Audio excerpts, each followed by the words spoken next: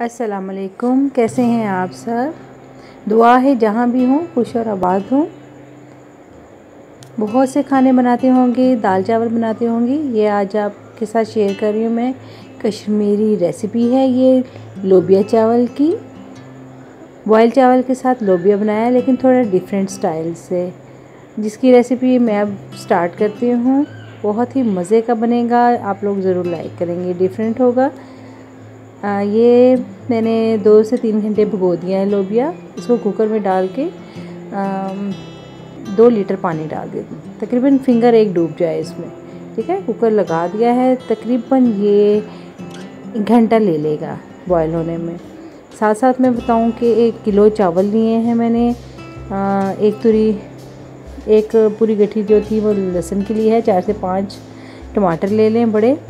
मैंने ये छः लिए हैं, बराबर से हैं, ये ज़्यादा बड़े नहीं हैं। इनका मैं छिलका उतार के कट कर लूँगी और ये लहसुन पीस लूँगी, चावलों को भिगो दूँगी। लहसुन इस तरह से मैंने पीस दिया है। साथ में टमाटर छिलका उतार कर इस तरह से कट कर दिए, ठीक है? ये लोबिया मेरा बॉयल हो चुका है। बॉयल लोबिया की निशानी है, ये आपस से में टूट जाएगा। एक दूसरे से अलग हो रहा होगा दरमियान में से।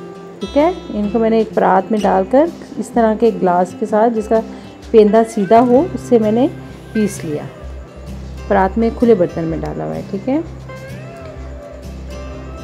मैंने लहसुन डाल दिया एक कप ऑयल में। गरम ऑयल में मैंने लहसुन जो पीसा था वो डाला है। इससे पहले कि हम रेसिपी में आगे जाएँ, आप लोग कर लें जी चैनल को सब्सक्राइब, बेल आइकन को ज़रूर दबाइएगा। ताकि आने वाली हर वीडियो आपको आने मिले, ठीक है?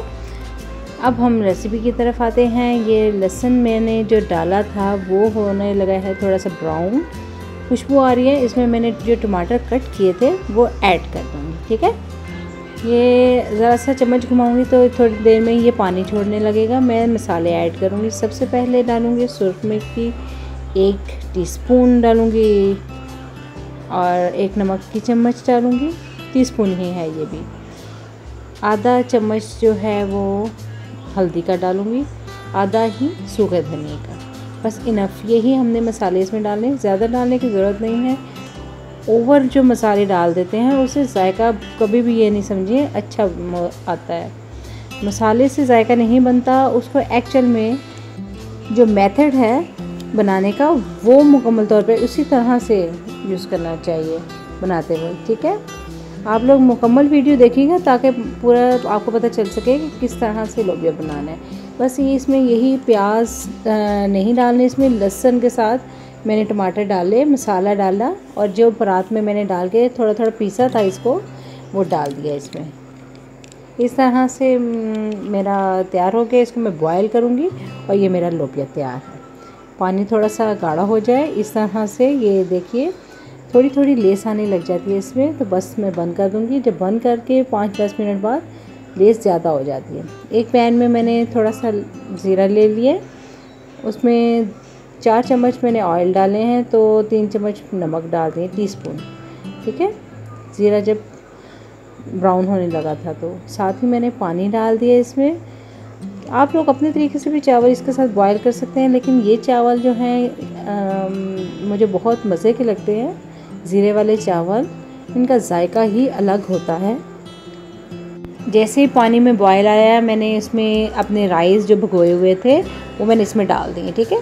जब ये पानी बिल्कुल खुश्क हो जाएगा, इस तरह से ये मेरा भी खुश्क हो गया तो मैंने इसमें डाल दिया, इसमें ढक्कन लगा दिया। ये देखिए, हल्का सा पानी मौजूद है। तो मैंने इसके ऊपर ढक्कन लगा दिया। मेरा बिल्कुल बंद हो जाता है ये ढक्कन शीशे का, लेकिन आप लोगों के पास अगर इस तरह नहीं है तो आप कपड़ा लगा दीजिए, ठीक है? ये मेरे लोबिया भी हो चुका है रेडी और चावल भी। चले हम ट्राई करके देखते हैं किस तरह के बने हैं। लग तो बहुत ही मज़े के रहे हैं, खुशबू भी बहुत अच्छी आ रही है। ये कश्मीरी रेसिपी है। मैंने आज आप लोगों के साथ शेयर की है। उम्मीद आप लोगों को पसंद आएगी। दुआओं में याद रखिएगा। नेक्स्ट नेक्स्ट रेसिपी तक।